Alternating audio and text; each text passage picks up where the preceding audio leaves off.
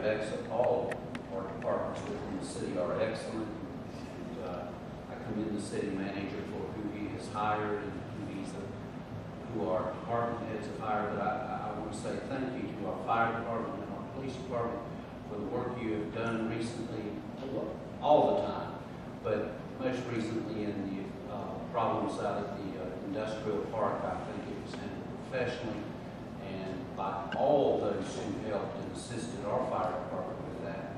Thank you very much, and our police department's doing a great job.